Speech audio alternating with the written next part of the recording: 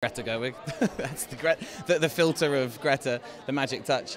I think you know this is a timeless piece. It has uh, incredibly modern and progressive terms, uh, themes in it throughout. Uh, my character John Brooke has this wonderful line uh, about you know um, American women uh, are respected for, for supporting themselves and following their dreams and working. You know the, the, the value of work when he's talking about Meg as a governess, and they have the resources to do so. So you know for me, uh, playing a role, a man who was in 1863, whichever year it was, you know, saying those kind of uh, those words was a wonderful thing.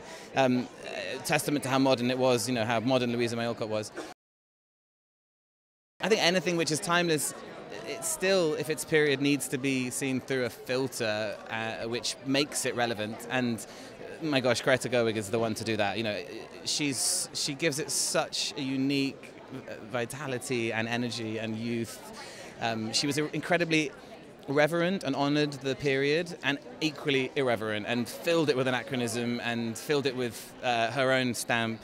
Um, it was wonderful. We, we, we, had this dialect guidance, and it, it, wasn't really about the sounds. It was more about what Greta Gerwig, what Greta Gerwig movie sounds like, and it was all about just giving it rhythm, giving it life. So yeah, she's she's she's the one.